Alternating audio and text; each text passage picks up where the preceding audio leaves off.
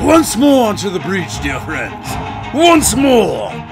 We'll close the wall up with our imperial dead. In peace, there is nothing so becomes a man as modest stillness or humility. But when the blast of war blows in our ears, then imitate the actions of a tiger.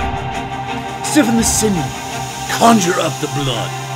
Disguise fair natured with hard favored rage. Then lend the eye a terrible aspect. Let it pry through the portage of the head, like the artillery roar.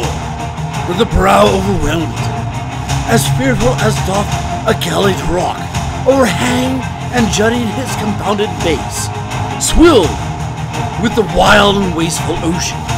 Now set the teeth and stretch the nostril wide. Hold hard the breath and bend every spirit to its full height.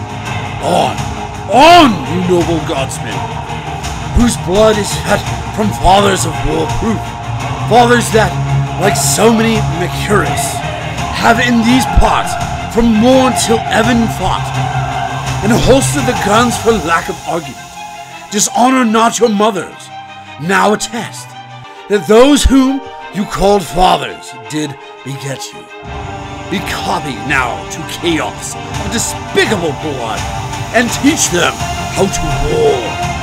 And you, God, whose limbs were made in the Imperium, show us here the mettle of your pasture. Let us swear that you are worth your breeding, which I doubt not.